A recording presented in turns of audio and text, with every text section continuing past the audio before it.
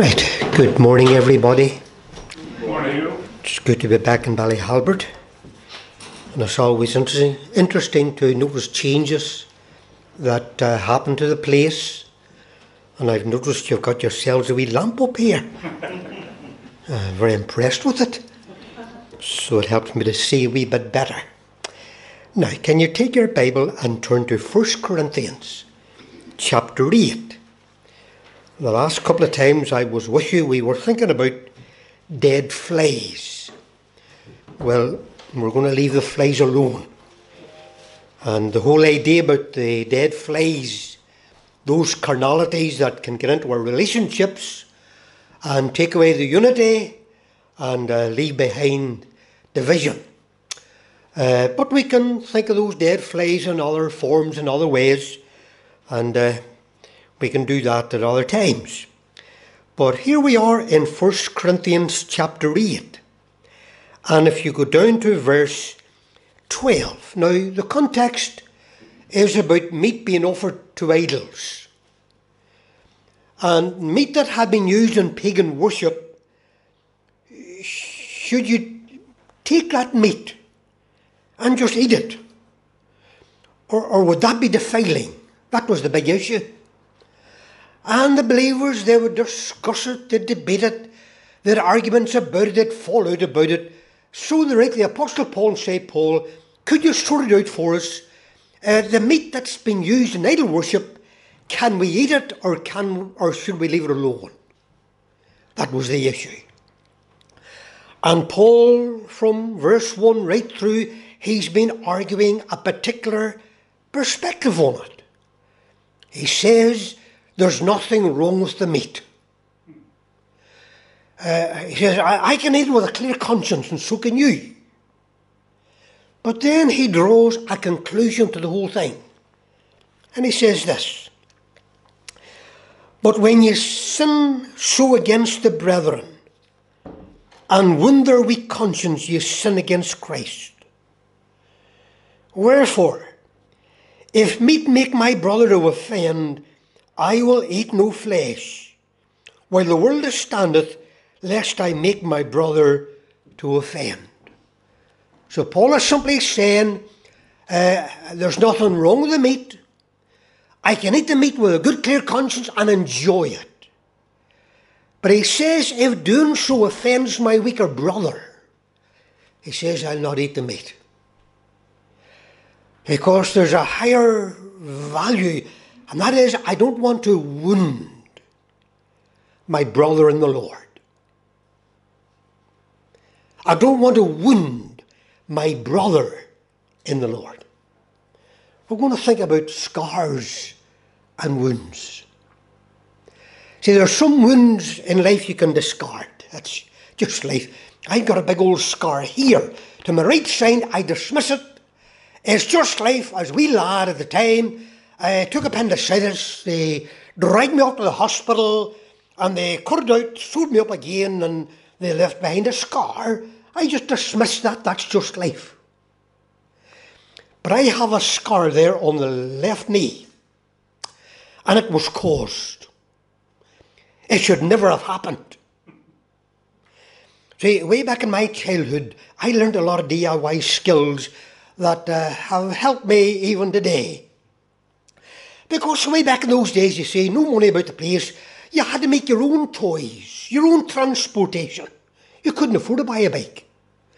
Uh, so you made uh, bows and arrows and uh, uh swords, uh, slings and uh, catapults, all weapons of war. See? Against the kids in the other street. You need to fight them to defend yourself, so you had to use your DIY skills to make the weapons of war.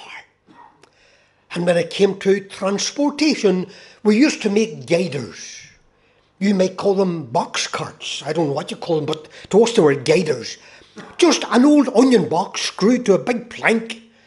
And then there's another bit of wood this way and another wood uh, at the back and uh, bits of iron and you had cannibalised uh, prams, take the wheels off them and there'd be your wheels and my big brother and myself, we made our guider and the problem was it had only has three wheels. So it wasn't going to be a very, you know, steady vehicle. And how you steered it was you used your feet or a bit of string at the front and that's the way you steered it. And my big brother, well, he got into it and he was going to steer the thing and I was the engine. I was also the braking mechanism. I had to push him and hold him back going round the corner and so on. And well, Ronnie lost control and he crashed the thing. And this uh, bare axle that didn't have the wheel on it, I ran into it and it left a big gash up the knee. There were tears, there was agony, there was blood, and eventually there were stitches and a scar for life. So I know it is to be deeply wounded. And the question is, you say, those wounds, who caused them? Who do you blame for them? I, I, I dismiss the scar here. I, I, don't have any bitterness against the surgeons. They, they cut me and they took the appendix out. They're a blessing to me. They saved my life probably. So they were, those were heroes. But that guys on the knee and all the blood and all the pain, someone is responsible for that. It was my big brother Ronnie. now, the last time when we talked about the flies, it was uh, vengeance and retaliation. And, and, back then, you know, my big brother, yes, he taught me how to kick football and played marbles, uh, but he was also responsible for the gash on my knee. He caused that. He wounded me. I do remember a time when the opportunity did come along for a wee bit of revenge and retaliation. And it was when he had just passed his driving test. And of course, back in those days, the young fellas who just passed their driving test, the whole purpose of it all was to impress the girls. And, uh, Ronnie used to, on a Saturday night, especially a Friday night, he, he would try to sneak the car and drive around the town with one hand. He thought the girls were impressed by seeing uh, him driving around with one hand, you see uh, girls were as foolish as he was, probably, and, and they were impressed by this. What a fella! He can drive with one hand. Just one idiot admiring another idiot. But uh, that's the way. So he was always trying to sneak the car. Now, as far as my dad was concerned, he owned the car, paid for the car, I paid the petrol in the car. Well, the car's only to get from A to B, for, with purpose um, there has to be, you know, there has to be a reason for driving the car. And to drive around the car, the, the, the town with the one hand, that, that's not a reason for driving the car. That's idiocy. You don't drive the car for that. But I remember this uh, Friday night, it was rather late. My dad was in bed, but Ronnie was out in the town, as it were, and uh, not, not, not having the car. But I, and I lived at the front, my bedroom, the front of the house, and I thought I heard something, so I peeked through, and there was my brother Ronnie stealing the car. And back in those days, you see, you could steal a car very easily if you had a metal comb to get the corner of it, and that was enough to open the door and get you in, and you use the same thing to turn the ignition. There's no safety of the cars whatsoever, no security. Anybody could steal it. And, and my brother had the door open and he was slowly pushing things down to the bottom of the street before he got in and turned the ignition and off he went. And I saw this and I thought of this gnash on my knee. And I thought of all the times he nipped my backside in the bed that we shared together. This was my chance for revenge and retaliation. But then when I thought about it, if I did tell my dad he could get himself in serious trouble. He'd never be allowed to drive the car again. So I decided, as much as it was difficult to do, I would not seek my revenge or retaliation. I wouldn't allow a root of bitterness to get into my heart against my brother. My brother wounded me. He hurt me. And you see the day when he died and we buried him and when we carried the coffin past the old street and all those memories came back, I remember tapping the coffin and saying, Ronnie, I was glad I never got you into trouble. I was glad I never allowed a root of bitterness to develop in my heart. I was glad I always had an affection for you because you're always my brother. See, brothers, we can hurt one another. And here's the wee lesson that I want to show you again here in 1 Corinthians chapter 8. Look what it says in verse 12. It says, And when you sin so against the brethren, when you dismiss their interest and their feelings and how they think and so on, if you dismiss them and hurt them, he says, eh, when you so sin against the brethren and wound their weak conscience, you sin against Christ. That's a different dimension to it, isn't it? So if I allow a of bitterness to develop in my heart against my brother and seek revenge and retaliation, I'm not just sinning and hurting them, I'm wounding the Christ that died for me. Boy, that's some deterrence here on.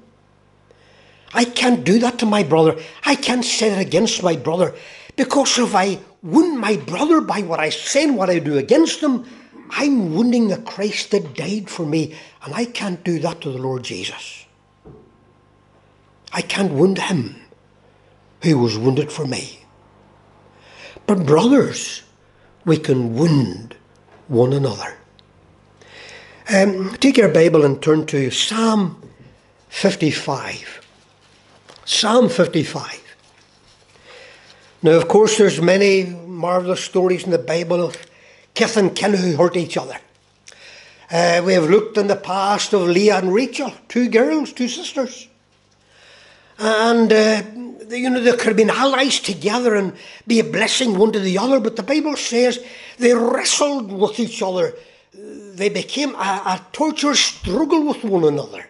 They spent a lifetime just hurting one another because of jealousy and because of pride. Here we are and Psalm 55. And the beginning of the psalm, he talks about how he feels abandoned by God. And then he begins to talk about how he was abused by his fellow man, by those around him. And things get, look at verse 4. He says, My heart is pain within me. This is a wounded man. Oh, the, the wounds don't bring blood. Uh, the, the wounds are inside emotional, psychological, spiritual, and deep seated wounds, in, uh, wounds inside his heart. He says, My heart is pained within me. This is a wounded man. Who's caused these wounds? Well, he tells us how he feels. He says in verse 6 And I said, Oh, that I had wings like a dove. Then would I fly away and be at rest. He just wants to get away from the pain, from the, from the, the agony of the wounds within him. He wishes he could just be like a, a dove and develop wings and fly away and, and find a place of rest where he can put the troubles behind him. And who it was that caused the troubles. Look at what he says in verse 12. Was it the Philistines that caused these wounds? Was the Amalekites? Uh, who's he pointing the finger at? Who's he blaming? Who's he say caused the pain and the agony? Who is that hurt him? He says, Foot was not an enemy. Oh, this inner pain and agony I feel. He said, I'm not pointing a finger at the Philistines or pointing a finger at the, the Amalekites. They didn't cause this inner turmoil and heartache and agony of my soul. It wasn't them. It wasn't an enemy. For it was not an enemy that reproached me. He says, then I could have borne it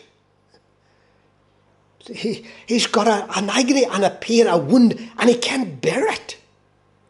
He says, if my enemy had caused it, I could have borne it much easier. But he says, the source of my pain is not my enemy, somebody else. Neither was it he that hated me. Then he goes on to say, verse 13, but it was thou a man mine equal, my guide and my acquaintance.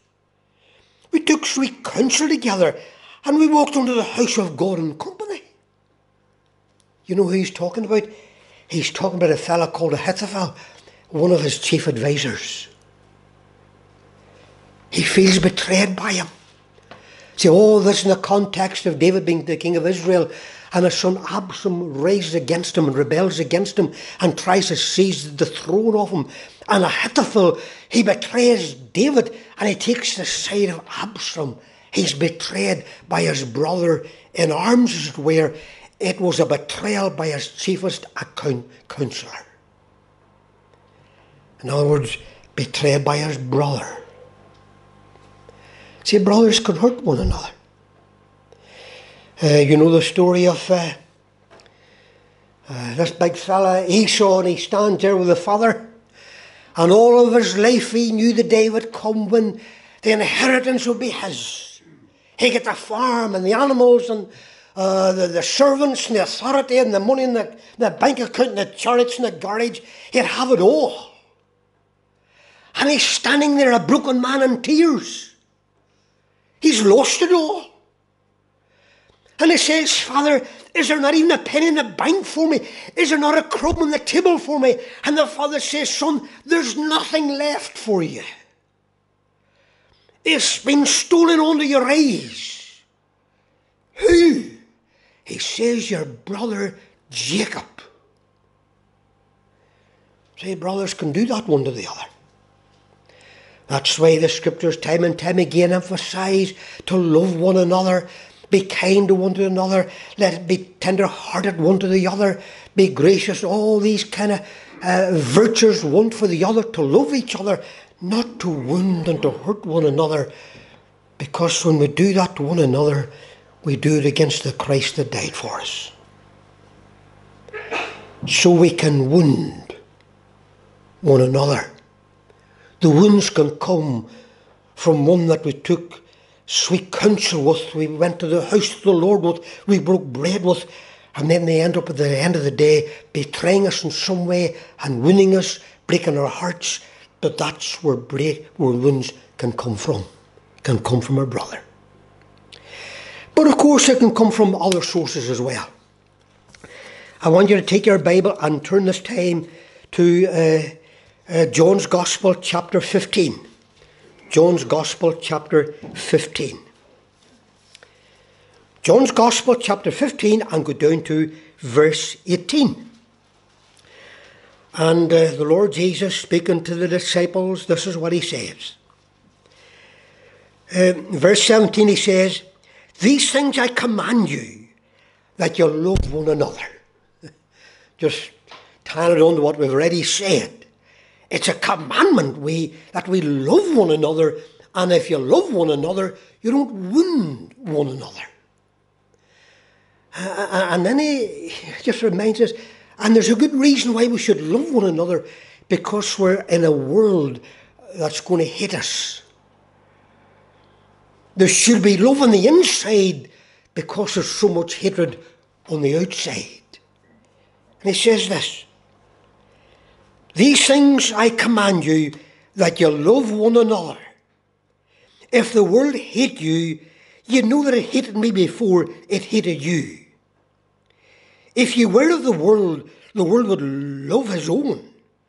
But because you're not of the world, but I have chosen you out of the world, therefore the world hateth you.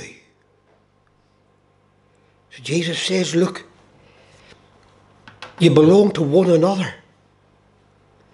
Love each other. Because outside the fellowship of discipleship and believers, there's a world out there and they're going to hate you. They're going to find ways to wound you.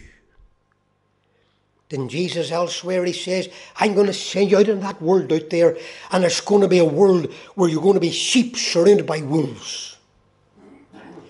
And we're fortunate if for a long time, and maybe for a long time, the Wolves have been rather uh, gracious to us. They've recognised we're believers, it's their world, but they've left us alone for most of the time. But we're living in a world today where the wolves are howling against us. And they're finding ways to hate us and to express their hate and to show their hate and even to begin to bite us. Maybe the root cause of it is that Jesus Christ is our Lord. The Word of God is His Word. And we want to live in this world and follow the Word of God, and our values come from the Word of God. And we're discovering that the values of the Word of God are now clashing with the values of a secular, godless world. And if there's going to be a tug of war and there's going to be a clash, you can be sure that the world is going to find ways to hurt us because of our values. We had a Christian charity in Northern Ireland, and their particular sphere of ministry is toward the world of transgenderism. If there's a young person who feels born a boy but they feel they're a girl and the want sort of counselling in that, well, they're there to help them to, you know, to talk about those things. The, the bank where they had their account shut their bank down just because of their ministry. And uh, of course, it went through the court system, and thankfully, uh, they won their case. And they got £30,000 compensation for the bank was not entitled to shut down their account because of what they believed in the nature of their ministry. But goes to show you the world we live in, and, and even the banking system is now saying if your values are not in line with our secular values, we can shut down your bank account. And sure, just this last week or two, Nigel Farage has exposed the whole thing. And what's been going on in a secular world out there that has their secular values and are going through all of our social media accounts and what we say and what we believe to find out whether we can still bank with them. One vicar in England, and uh, he was asked to do a survey in his bank. And he says, Absolutely, I'll, I'll do a wee survey for you.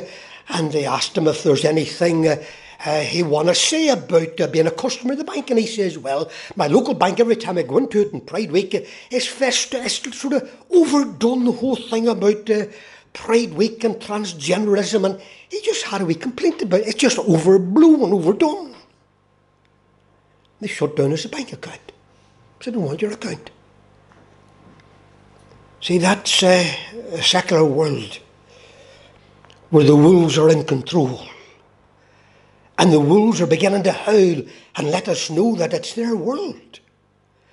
They set the boundaries and they control the laws, they make the laws, they codify their values in law, and at times we as believers may find ourselves outside their codified laws. And the big, big challenge for us as believers living in this world today is how we respond to that and how we react to it. You remember Peter? And Peter says, Lord, I am the best disciple you have. If you tell us they're going to take you to Jerusalem and they're going to arrest you and they're going to nail you to a cross, I'll go to jail for you, I'll die on a cross for you, I'm the man. But of course, when all those things began to happen, when the wolves howled, and the wolves came against the Lord Jesus and nailed him to a cross. Where was Peter? Oh, Peter thought, hey, I better just keep my head down. And when the wee girl says, Are you not one of that man's disciples? He said very clearly, I know not that man. I got me mixed up with somebody else. He just wanted to avoid the trouble. And as believers living in this world, a world that can wound us, you know, we don't want to fight. We don't want arguments, we don't want debates. We just want to meet together and believe what we believe and share what we share. And, uh, and we just want to be left alone, as it were. But we've got to understand the world out there is a secular, godless world, and they can come against us and they can wound us. And our challenge when the time comes, what are we going to do? Keep a head down or keep a head above the parapet and say, This is who I am. This is one who died for me upon a cross. He's my Lord. And this is his word.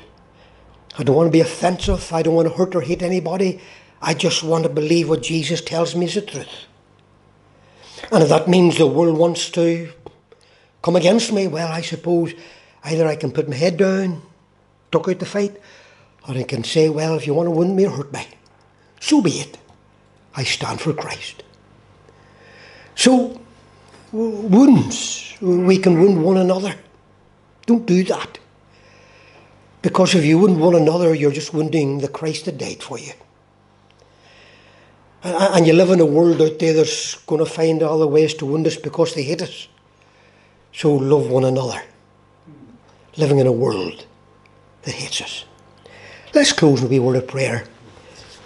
And we'll just end for now. Father, we thank you for the Lord Jesus. Thank you for his death upon the cross. And through that death, we have come together as brothers and sisters in Christ. Thank you for the fellowship of believers. Father, help us to always remind ourselves that if we seek to wound one another, we are wounding the one who died for us.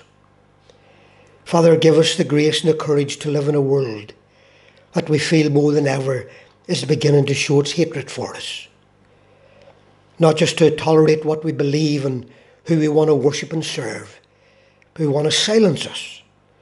And if we're not prepared to be silenced, they'll find some way to wound us. Give us, our Father, the grace to bear the wounds of the world as we ask it in our Saviour's precious name. Amen. God bless you.